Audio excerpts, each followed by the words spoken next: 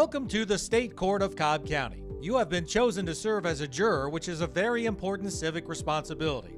You were selected at random from Cobb County residents who have a driver's license or who are registered to vote. The State Court of Cobb County was established in 1965. Prior to that time, all trials by jury were held in the Cobb Superior Court, but eventually the volume of cases became too large. As a result, the Civil and Criminal Court of Cobb County, later renamed the State Court of Cobb County, was created to try misdemeanor and certain civil cases, while the Superior Court continues to hear felony and divorce cases. State Court's 12 elected judges clear over 54,000 cases each year. This makes our court one of the largest volume courts in Georgia, with one of the highest caseloads per judge in the state. At check in, you received a juror badge. It's important that you wear this badge for identity purposes at all times while in the court building and on the judicial campus. You will receive a new disposable badge each day that you report for jury service. State court jurors should park in a designated jury lot as based on instruction provided by jury administration. If you are directed to a parking deck, you will receive a ticket that can be validated at juror check in. This will allow you to exit the deck without cost. For information on jury parking lots and addresses of those lots, please visit our website at cobbcounty.org slash state court jury. We want you to know what to expect during your jury service, the guidelines you'll need to follow, the types of cases you will hear, the valuable role you'll have during the course of a trial, and how you'll be compensated for your time here. Before hearing a trial, you will be sworn in by the presiding judge. You have been assigned a pool group number, which is located on your jury summons. You will need to note your pool group number, as you will need it to determine if you need to report the following day. Each evening after 6 p.m., it's required that you call 770 528 2626 or visit cobbcounty.org slash state court jury to find out if your pool group is scheduled to report the following day. You will continue to report for service until you're notified you are dismissed. Jury on call number and the website is located on your jury summons. Once a panel is chosen to go to a courtroom, a bailiff will escort those jurors to that courtroom and seat them in the jury box. Lawyers will question you to determine if you're best suited for their case. This court uses a six person jury in criminal misdemeanor cases and either a six or 12 person jury in civil cases. We know you're concerned with how long you'll have to serve. Each case is unique, that makes it difficult to determine exactly how long you'll be needed. Also, you should know that you may serve on more than one jury and hear more than one case. When you are in the courtroom, please understand you cannot smoke, read, eat, or drink anything other than water unless you have a special medical need, in which case you should inform the jury administrator. All electronic devices must be turned off inside the courtroom. At various times, the judge will declare a recess for a rest break, lunch, or overnight. The most prominent member of the courtroom is the judge. The judge sits on the bench and presides over the entire trial process.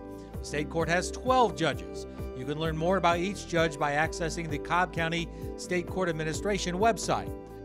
Once you are assigned to a courtroom, you will remain with that judge throughout the trial. Should you serve on another case, you may be assigned to another courtroom with a different judge. The court clerk sits in front of the judge. As the official record keeper for the case, the clerk is responsible for maintaining all documents and physical evidence. Testimony taken during the trial is documented by the court reporter, who will transcribe the proceedings after the trial if requested to do so. Witnesses will sit next to the judge when giving their testimony and may be called several times during a trial. Plaintiff and defendant, or the parties involved in the case, sit at the two tables in front of the gallery with their attorneys. Now that you are acquainted with the people in the courtroom, let's explore how a case might proceed. After you are selected as a juror, one of the first things the judge will do is provide you with general court procedure instructions. The attorneys for each party will present an opening statement or provide a general outline of the facts they feel are important to their case.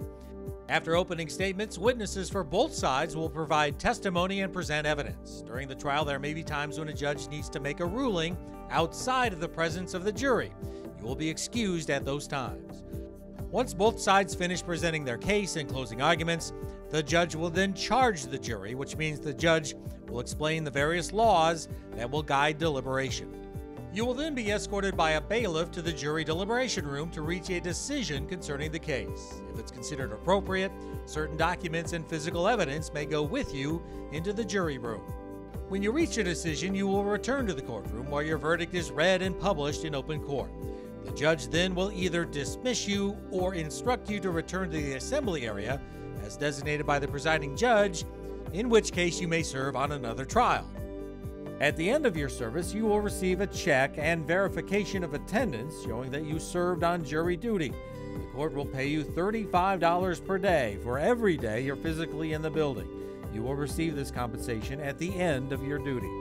Wi Fi is available for your use as you wait for possible assignment to a courtroom. The wireless connection is called Cobb Hotspot. You will see posters in the jury assembly room titled Juror Responsibilities Regarding the Internet and Social Media.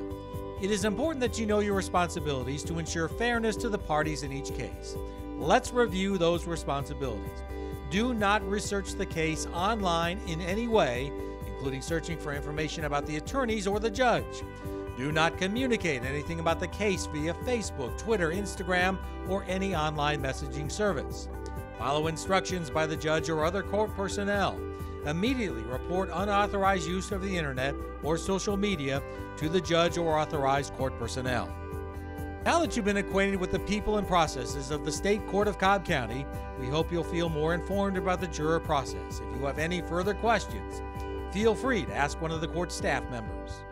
Thank you for fulfilling this important civic duty in our judicial process, a process which keeps our community safe and thriving.